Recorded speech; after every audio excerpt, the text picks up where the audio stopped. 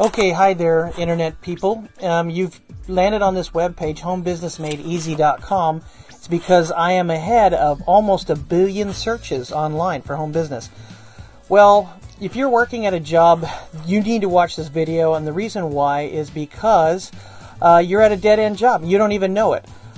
There's a big problem going on today with the healthcare situation and your hours. Well, how are you going to make ends meet if you sit there and pay a lot in taxes? I mean, look at gas prices alone. That should upset anybody to wanting to commit to some action.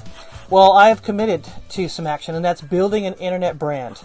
And I can help you build an internet brand so that you can have a little bit of hope for your future. And you can only do this if you have extra income coming in. If you lose your job, sure, you might have insurance or unemployment. The problem is when you're dealing with a group of people that rely on uh, you rely on to help you through your reviews. Your income is based on your reviews.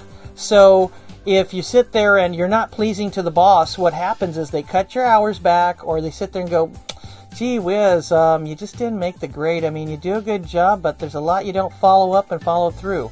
And if they pile on so much work how in the world are you going to follow up and follow through when they give you 99 things to do and you can only get maybe 15, 20 things done in a day? Then they come to you after a quarter and say, gee whiz, you just didn't make the grade. Yeah, sorry, you're, you're not going to get a raise. Well, it's their job to not give you a raise. I hate to say that, but it's the truth. In a lot of retail positions, I don't know about a lot of other sales type jobs, but in retail, this is definitely true. So it's in their best interest to keep themselves profitable. And the only way they can do that is through hearsay and rumor.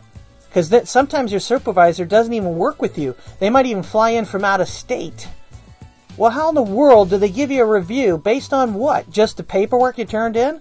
And the paperwork's almost ridiculous if you have so much work piled up on you and then you have a reviewer come in from out of state to review you. How in the heck do they do this? This is where my frustration comes into play, and that's why I started this website to help people navigate through their basic life and give you a little bit of hope, just a smidge. And this website kind of does that because I'm frustrated and I'm upset, but I'm here to help you make a decision.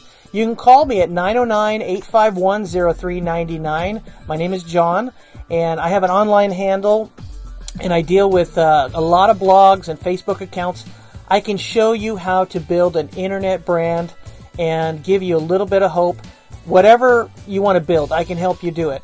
Uh, and I make videos like this. So if you're in the local uh, Inland Empire, Riverside County, Temescal Valley area, I can help you build your internet brand.